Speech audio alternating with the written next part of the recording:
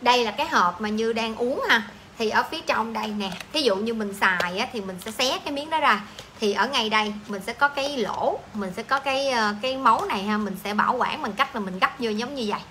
Được không mình gấp vô giống như vậy thì coi như mình khóa cái sản phẩm lại đó nó không bung ra được. Còn khi nào mình dùng thì mình mở ra. Đó, ở phía trong ở đây á, thì mình sẽ có là một cái một cái gói gói gói bằng bạc ha thì cái gói bạc này nó có tác dụng á, là nó sẽ bảo quản cái sản phẩm không có làm ảnh hưởng của môi trường nhiệt độ vô trong cái sản phẩm của mình.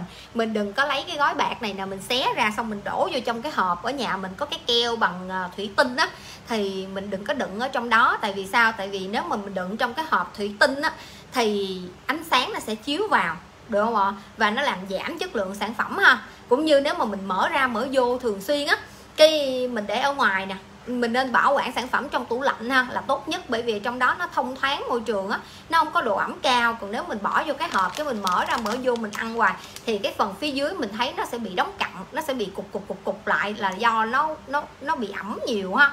Đó, nó sẽ không có ổn cho cái bảo quản sản phẩm. Cho nên uống xong bỏ vô đây. Không ạ và đóng lại đóng lại như vậy. Bỏ tủ lạnh là được. Rất là dễ bảo quản nha cả nhà.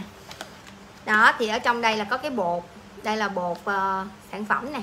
Sản phẩm của mình á, là 375 à, 378 gram là gồm có 21 lần mình uống cả nhà.